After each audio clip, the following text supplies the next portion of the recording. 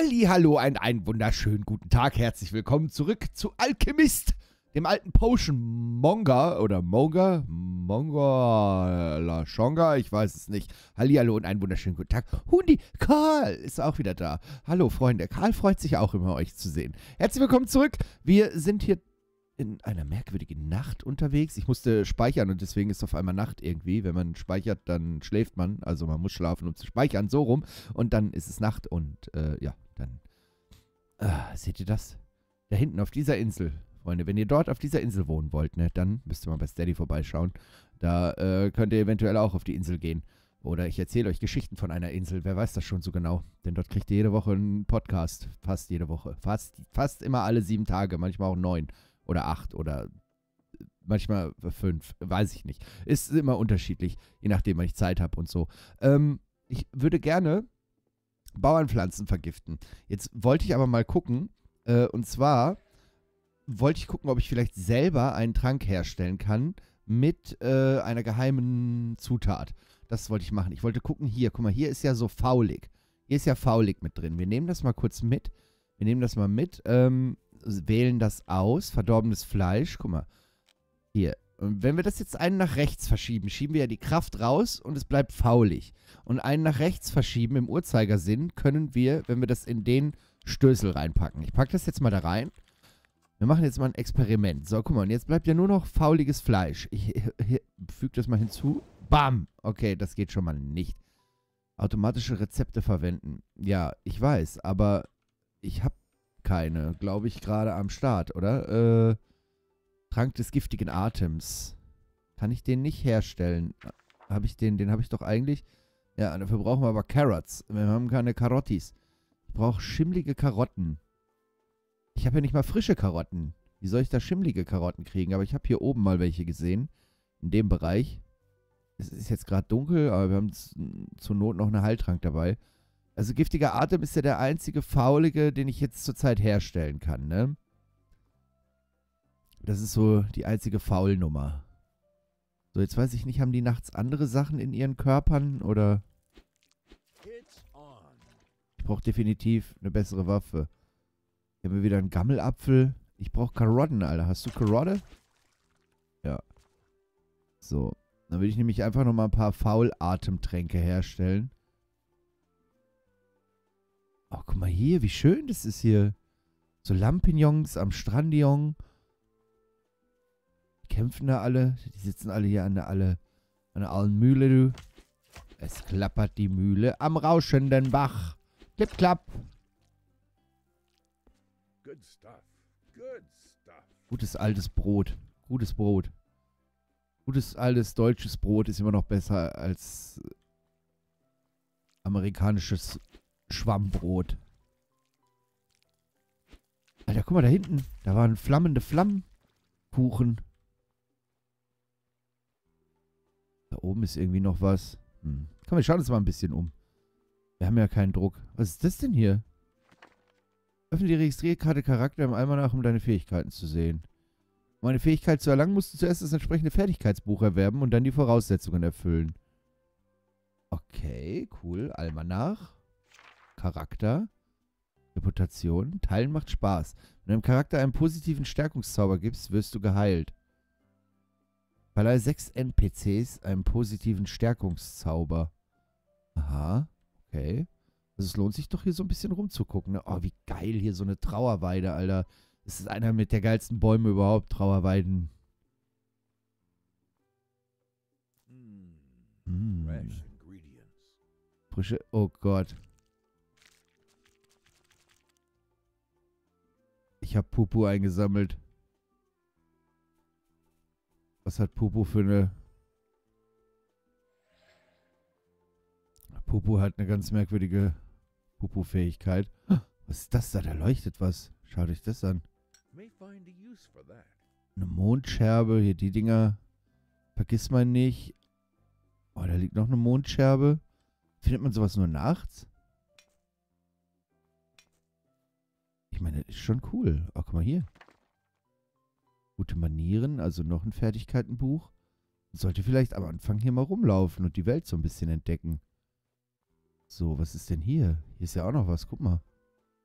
Da steht ja jemand hier in der Dunkelheit. Jetzt mach... Nein, nicht ablegen. Mach mal das Buch jetzt weg da. Kann ich das da... Who left it here? Ich brauche mal kurz meinen Stock. Hallo? Schönen guten Tag. Hallo Fremder. Schön ein neues Gesicht auf der Insel zu sehen.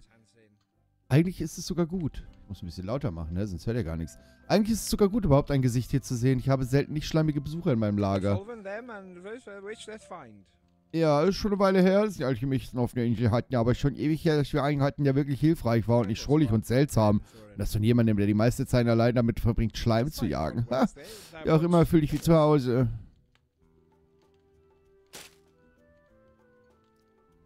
Königsmord? Seit geraumer Zeit versuche ich, die Population der Inselschleim unter Kontrolle zu halten, aber in letzter Zeit wird es immer schwieriger. Sie haben sogar eine Art Sozialstruktur gebildet mit dem König an der Spitze.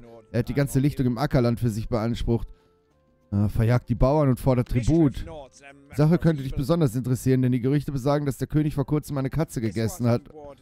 Die durchschnittliche streunende Katze wird im Inneren des Königs niemals überleben, aber du kannst das Miauen auf der Lichtung deutlich hören. Oh Gott. Auf keinen Fall ist es ein gewöhnliches Kätzchen. Wenn du den König tötest, wird das Wachstum der Schleimpopulation hoffentlich zurückgehen und kannst ein neues besonderes Haustier bekommen. Ah, nimm dieses Rezept, es sollte im Kampf einen Vorteil verschaffen. Stärkus, Stärkentrag, okay. Siege den Schleim.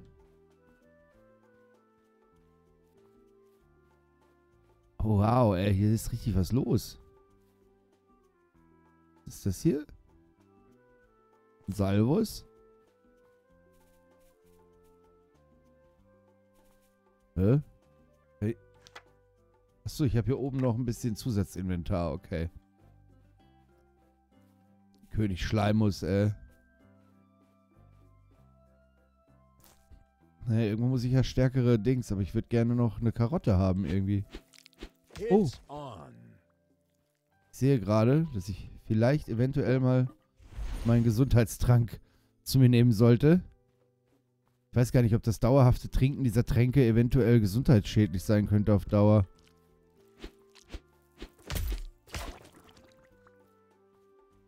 Das weiß eigentlich niemand so genau.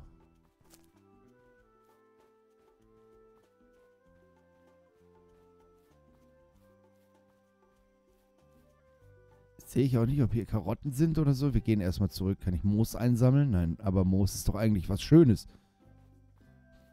Ohne Moos war ja nie was los in der Hose.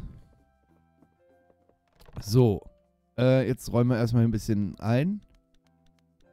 Einfach mal so. Ähm, naja gut, wir könnten jetzt mit dem Almanach, könnten wir natürlich jetzt hier einen giftigen Atem. Machen wir noch ein paar Gesundheitstränke. Ähm, König Ravonus. Ich will aber jetzt noch nicht zu König Ravonus. Ich will eigentlich hier, wo sind meine Quests? Königsmord, ein kleiner Gefallen.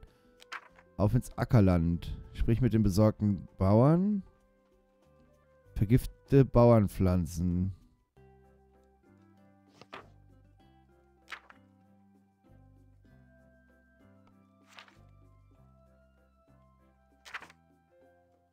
Achso, ich muss das anpinnen.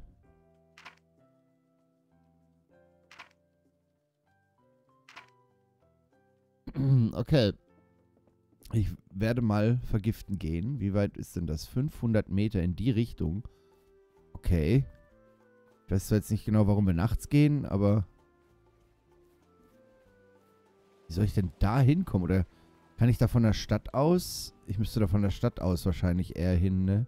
Wir beamen uns mal in die Stadt. Vielleicht sind wir da schon mal ein bisschen näher dran. Hundi. Hinten war Hundi. Karl. Karl findet Sachen, aber ich finde auch Sachen.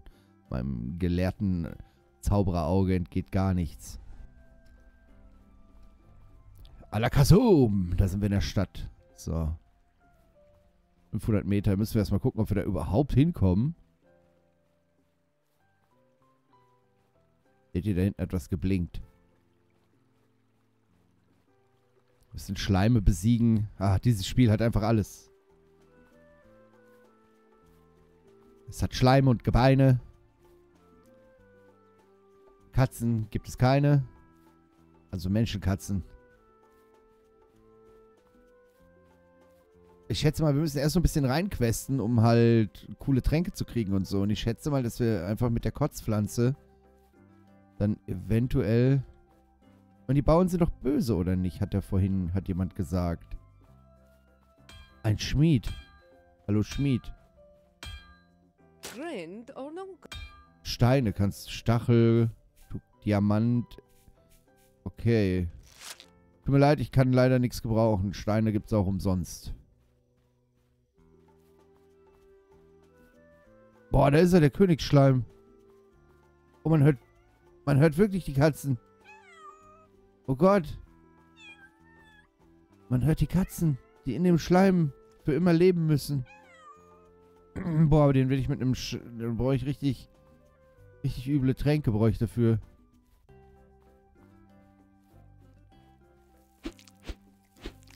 It's on.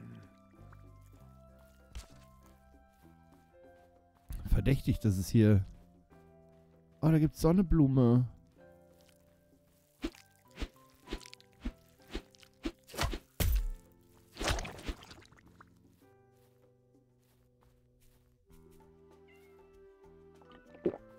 Ah, refreshing. Sehr refreshend.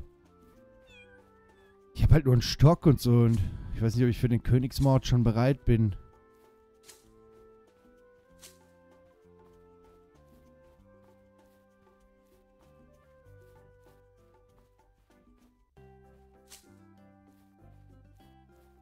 So, hier ist das Feld. Kann ich auf das Feld kotzen? Are you sure?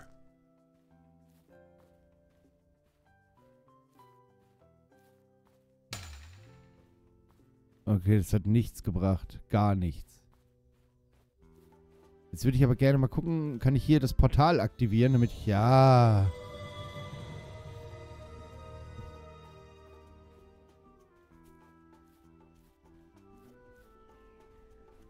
Ach, guck mal, hier kannst du auch Tierexkremente gleich mit einsammeln.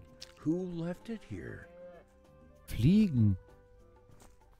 Oh, geil. Ey, jetzt mal im Ernst. Hier gibt es ja richtig gutes Zeug.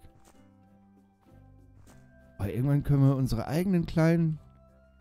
Who left it here? Ich glaube mal den Bauern einfach den, den Dreck. Denken sich auch... Ingeborg! Der ist hier dieser Zauberer. Der läuft wieder bei unseren Kühen rum.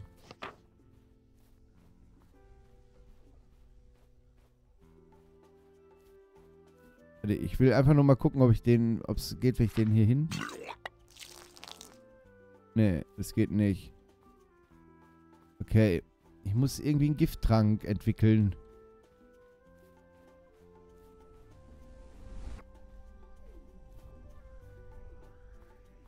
Äh, wer hatte denn die Tränke? Warte, ich gehe mal in die Stadt. Also wer hatte... Hier gibt es Werkzeuge. Hallo. Shop. Giftrezept. Da, das brauche ich.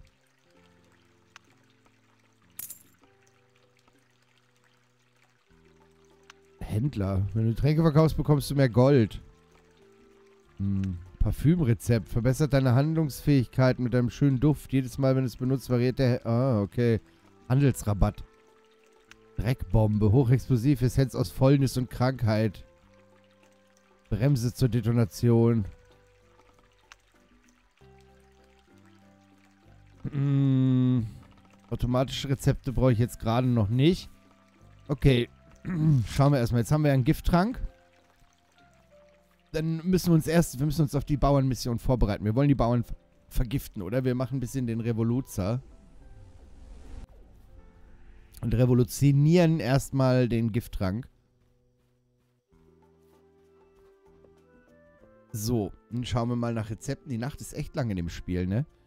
Äh, Rezeptete, Rezeptete, Rezeptete. So, da haben wir doch was. Gift. Gift ist die Essenz aus... Moment, ja, oh, ist angepinnt. Nee. Hä?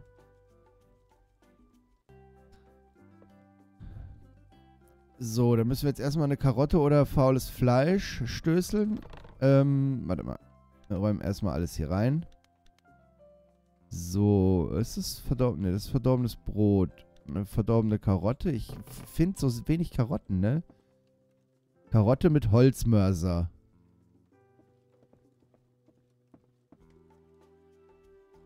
Pilz. Holzmörser. Okay. Dann werden wir mal eine Karotte mit Holzmörser machen. Und jetzt brauchen wir noch Pilz. Okay, verstehe, verstehe. Ich glaube, ich habe langsam so ungefähr verstanden, was dieses Rezeptding von mir will.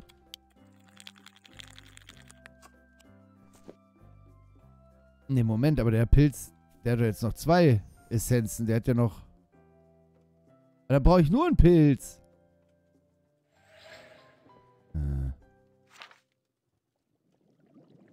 Dann mache ich den Trank wenigstens nochmal. Olle, Sojondolo, Songolololo.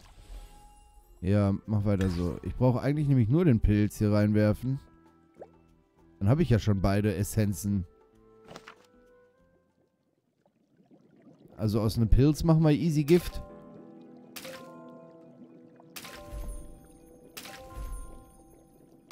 Na, Pilze finden wird bestimmt auch nicht so einfach.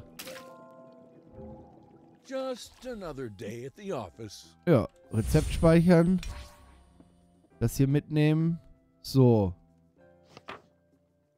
Dann werde ich das Gift nämlich einfach auf dem Feld verstreuen. Dann werde ich das Gift da einfach mal auf dem Felde verstreuen und dann schauen wir mal. Vergiften seine Pflanzen und dann essen alle davon und verrecken. So, auf zum Ackerland.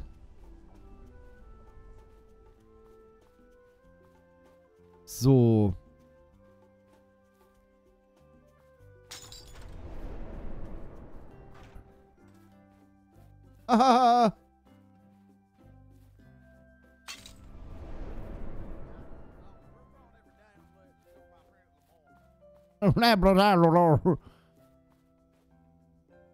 Okay, der, äh, ich hoffe, er hat uns nicht gesehen. Das Ding ist, wir werden mehr Pilze brauchen. Entweder kaufen wir Pilze im Dorf oder wir sammeln Pilze im Wald. Es gibt nicht viele Möglichkeiten und ich komme da nicht hoch. Jetzt komme ich hoch. Ich höre sie wieder. Die Katzenschreie. Oh mein Gott.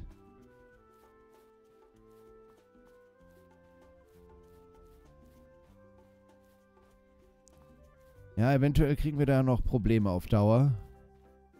Aber wir stellen uns gegen die bösen Bauern. Obwohl, eigentlich sind die Bauern ja nicht die Bösen, ne? Aber, keine Ahnung, wir stellen uns erstmal auf die Seite der Revoluzer. Can you find use for that? Eine Rotkappe. Die müssen wir eventuell erschnüffeln lassen. Ich finde jetzt gerade keine normalen Pilze irgendwie. Aber ist egal, wenn wir jetzt hier rumlaufen und ein bisschen sammeln, dadurch kriegen wir natürlich auch Vorteile. Dann haben wir für unsere Rezepte schon einiges. Aber ich denke, wir müssen später, um richtig, ich sag mal, Tränke in Massenproduktion zu haben, müssen wir wahrscheinlich ordentlich äh, selber Kram machen. Ne? Wir brauchen hier Trockner, Verdampfer, Verlampfer, Schnampfer, Ampfer, Pampfer und die ganzen Geräte, die man so braucht als Magier. Ne? Die werden wir alle irgendwie... Steine sind Freunde. Kein Futter. So. Ah, der Sperlingsprinz. Er pfeift und trötet. Das heißt, es ist der Morgen. Der Morgen ist gekommen. Er hat nachts geschlossen, aber die hat 24-7 offen hier. Obst und Gemüse. Ich würde gern Obst und Gemüse kaufen. Ah ja, Benedikt? Wer verkauft mir denn heute. Honig, Minze, Apfel, Brot und Ei? Ich kann hier gar nicht, gar keinen Pilz kaufen.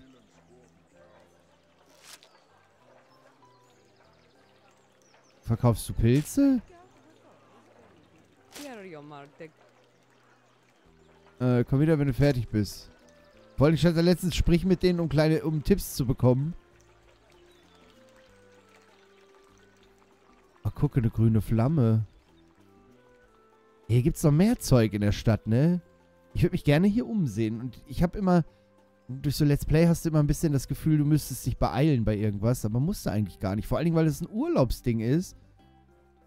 Das heißt, wir können hier richtig entspannen. Was ist denn das für eine Arschgrube? Hier ist ja eine Grube voller Arsch. Das ist eine Kiste. Kann ich die mitnehmen? Ja. Leider nicht. Das Gasthaus deiner Mutter? oh, ich möchte ins Gasthaus. Gut, der Schleim hat sogar einen Steckbrief, einen eigenen. Da hinten sind Flammenschleims. Ich brauche Pilze für mehr Gift.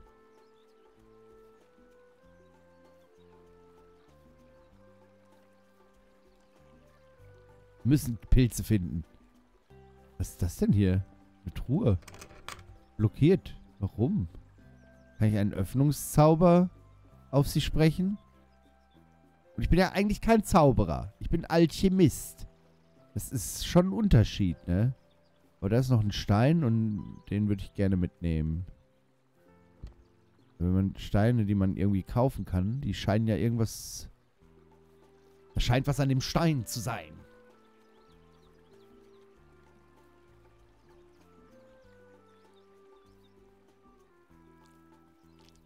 Was hat der denn da drin? It's on. Altes Gammelbrot. Bam, bam, bam, bam. Ach komm, ey, hier muss da irgendwo ein Pilz sein. Ein Pilz brauche ich nur noch. Oder zwei oder fünf. Ich wüsste jetzt auch nicht, wie man die selber züchtet. Ich habe ja irgendwie keine... Keine Pflanzerfahrungen. Wenn man natürlich einfach alles aus der Natur rauspflückt, ohne Rücksicht auf Verkruste, auf Verlustekruste. Da ist dieses Piratenschiff, da ist die kackende Weide. Da ist er wieder unten im Walde und keckelt da rum. Ist das ein langer Stock eigentlich? Macht das einen Unterschied, ob ich den Stock hier nehme einfach mal noch einen Stock mit.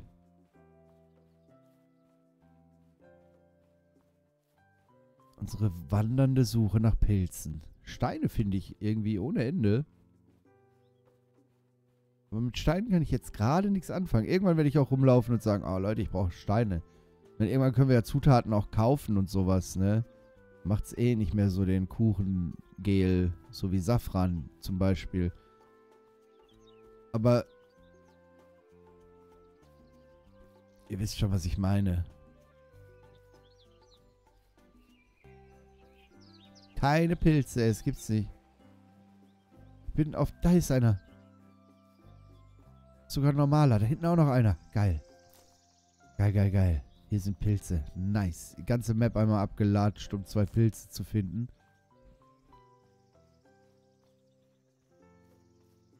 Mach Gönnerauge. Da ist noch ein Pilz. Sehr gut. Da ist noch ein Pilz. Ein Pilz, ein Pilz, ein Pilz, ein Pilz, ein Pilz, ein Pilz. So, da sind wir doch. Vergiften wir dem doch jetzt dann... Ah, das machen wir beim nächsten Mal, aber ich äh, bereite uns noch... Oder obwohl, wir können ja unterwegs auch brauen. Ich hab's ja im... Ich hab's ja im Fast Brew. Ich hab's ja im Fast Brew, Leute. Wie, kein Gift? Automatische Rezepte. Gift. Ach, ich muss dafür zu Hause sein, oder? Ich muss dafür zu Hause sein. Das wäre auch sonst unfair. Das wäre ja auch sonst unfair. So, jetzt können wir hier ein bisschen...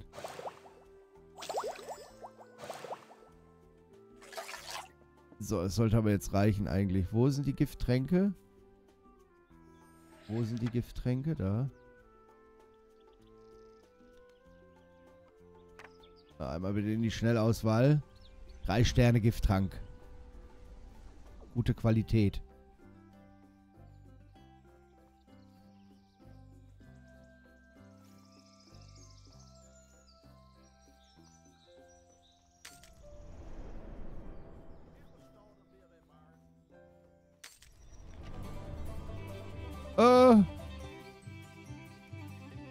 Quests schließen sich gegenseitig aus, was?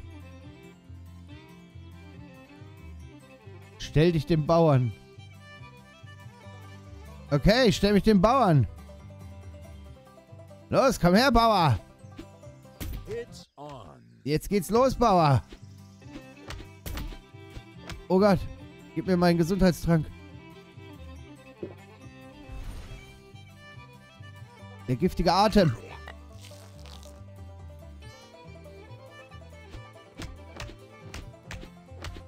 Ich habe ihm seine Energie aus. Er kotzt seine Energie aus seinem Körper.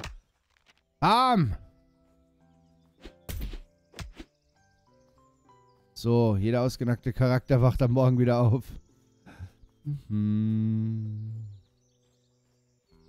So, das haben wir doch gemacht. Freunde, ich würde sagen, wir machen hier ein kleines Päuschen und äh, sehen uns dann in der nächsten Episode wieder in einem Haufen Kuhkacker. Und dann bewegen wir uns zu Richtung Eve und äh, verkünden dir die frohe Kunde unserer revolutionären Tätigkeiten. Also Leute, macht's gut, bis zum nächsten Mal. Auf Wiedersehen, reingehauen und äh, ciao, mit au.